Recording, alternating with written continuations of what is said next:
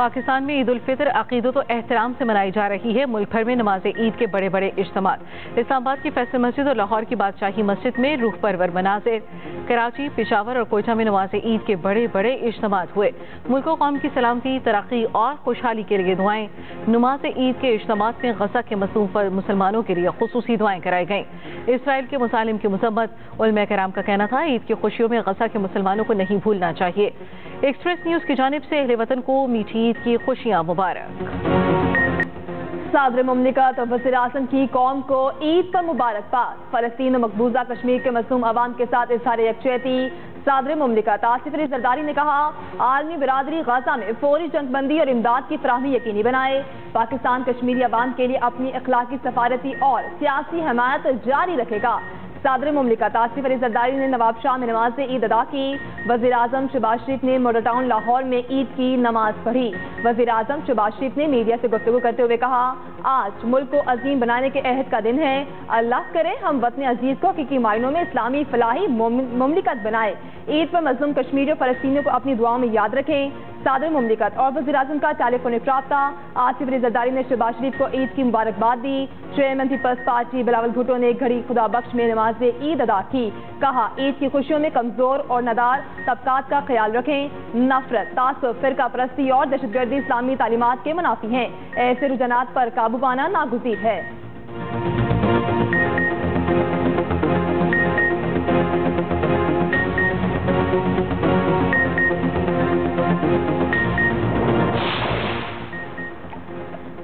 Chairman, joint chief of staff committee और services chief की कौम को ईद की मुबारकबाद। मादरे वतन के लिए जान कुर्बान करने वाले शोहदा को खराज अकीदत। आई एस पी आर की जानब से पैगाम में कहा गया, एक सिपाही के लिए ईद का असल जौहर। फ्रंट लाइन पर खिदमत अंजाम देना है। कौम की हिफाजत और ईद पर प्यारों से दूर रहना सफाइयों का शुआर है।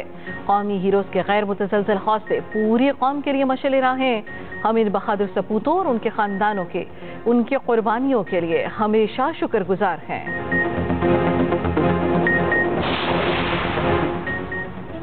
ईद उल फितर हर घर में खुशियाँ और खुशहाली लाए। वज़ीर अला पंजाब मरीम नवाज़ का ईद पर पैगाम, कहा गरीब तबके को अपनी खुशियों में शामिल करें, ईद के रोज शोहदा के अली खाना को भी ना भूलें। वज़ीर अला खैब पख्तुखा अली अमीन गंडापुर ने डी आई खान में ईद की नमाज़ पढ़ी। वज़ीर अला के पी अली अमीन गंडापुर ने कहा, ईद उल फितर मिलत इस्लामिया की इज्तमाहीत और यगानगत का मसर है। बाहमी इतिहाद और मिली यकजहती को फिरोग देकर हम एक अजीम कौम बन सकते हैं। वज़ीर अला बलोचिस्तान सरफराज बुख्टी कहते हैं, अपनी खुशियों में इन अफराद को भी शामिल करें जो इस दिन को मनाने के इस्तात नहीं रखते। आज हम अपनी तमाम सिक्योरिटी फोर्सेज के शोहदा को भी खराज अकीदत पेश करते हैं। गवर्नर सिंध कामरान टिसोरी ने पोलो ग्राउंड कराची में ईद की नमाज़ पढ़ी। मीडिया से गुफ्तु करते हुए कहा, उम्मीद है ये ईद पूरी कौम के लिए खुशी और शादमानी का बायस होगी। अहद करें, मुल्क की तमीर और तरक्की के लिए अपनी भरपूर कोशिश करेंगे।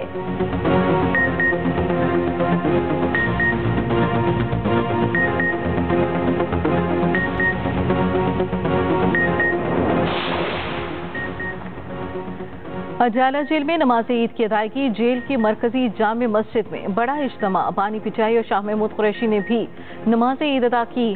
जेल जराये के मुताबिक नमाज़ के बाद दोनों ने एक दूसरे को गले लगाया। पानी पिचाई पहले सफ में मौजूद थे। नमाज़ अदायगी के दौरान सिक्योरिटी हाई अलर्ट रही। दुनिया में ईद की खुशियाँ, फलस्तीन में गम के पहाड़। ईद उल फितर पर भी गजा में बमबारी नारद की 24 घंटे में मजीद तीस से ज़्यादा फलस्तीनी शहीद। इसराइली बरबरीत से शहीद फलस्तीनियों की तादाद तैंतीस हज़ार से तजावज कर गई। इसराइल ने जंग रोकने और गजा से फौज के इनखला से इनकार कर दिया।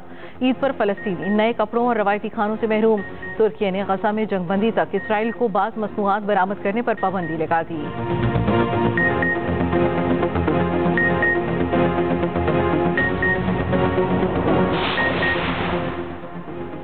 आज़ाद कश्मीर में नमाज़ ईद के रूह परवर इज्तम। कश्मीरियों ने ईद की खुशियाँ मजलूम फलस्तीनी आवाम के नाम कर दी। मुजफ्फराबाद में नमाज़ ईद के बाद रैली निकाली गई। मकबूजा कश्मीर और फलस्तीन के मजलूम आवाम के साथ इजहार यकजहती रैली के शुरा की फलस्तीन और कश्मीर की आज़ादी के लिए नारेबाजी।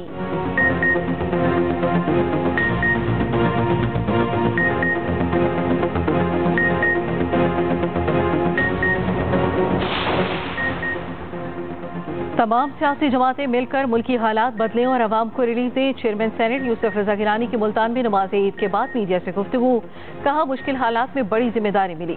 सराय की सूबे के लिए इतफाक राय पैदा करना पड़ेगा। तरजीहत हुकूमत की होती है। मैं हुकूमत नहीं। बहादुर जवानों पर दुश्मन के हमले की मसम्मत करते हैं। ईद के मौके पर फलस्तीनियों की शहादतें ना भूलें। स्पीकर कौमी असम्बली अयाज सादिक ने अपने पैगाम में कहा, मुल्क को बहरानों से निकालने के लिए अख्तलाफात भुलाना होंगे। अल्लाह पाकिस्तान को। अमन अमान का गहवारा बनाए।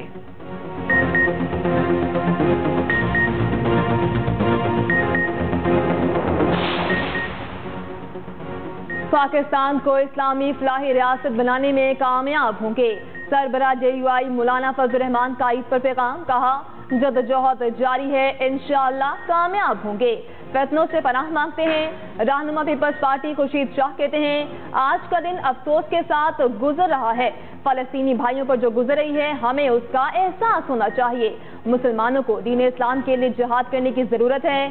सबक वज़ीर दाखिला शेख रशीद ने मीडिया से गुफ्तु में कहा, फॉर्म पैंतालीस और सैंतालीस वालों को मुबारकबाद देता हूँ। साहनिया नौ मई को एक साल होने वाला है। मुकदर हल्कों से अपील है, बेगुनाहों को मुआफ कर दिया जाए। शेख रशीद बानी पीटीआई से मुतालिक सवाल पर तबसरा किए बगैर चले गए। आवाम को सहूलियात देने के लिए तमाम इदारे अपना किरदार अदा करें सिंध के सीनियर वज़ीर शर्जील इनाम मेमन की न्यूज़ कॉन्फ्रेंस।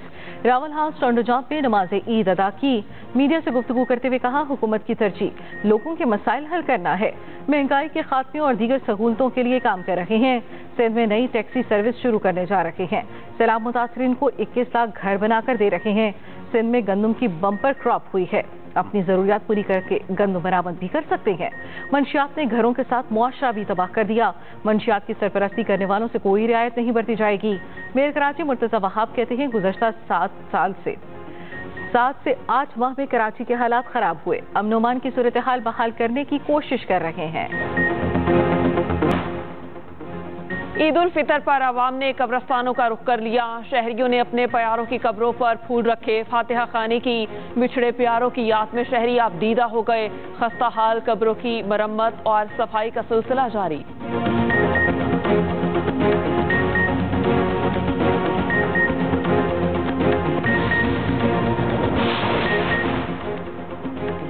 मीठी ईद भीगी भीगी गुजरेगी।